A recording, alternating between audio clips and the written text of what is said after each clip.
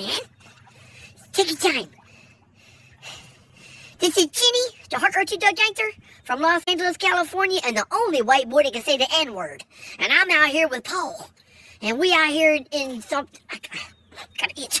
Anyway, we all the way out here in my and we're we're fishing. We're me and my boy uh, Lee Mitchell used to fish in the middle of the summer. Man, it was hotter than Africa out this motherfucker in the middle of July. But what's up? No, dude. No, dude. No, no. Don't even think about it. Get a fucking turtle. You going in? No, don't go in there.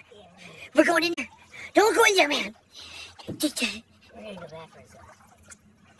We're gonna go backwards. You're fucking crazy, man. I'm fucking rednecks to live here, man. I'm fucking great. Look at all this swamp. Got. Goddamn skeeters.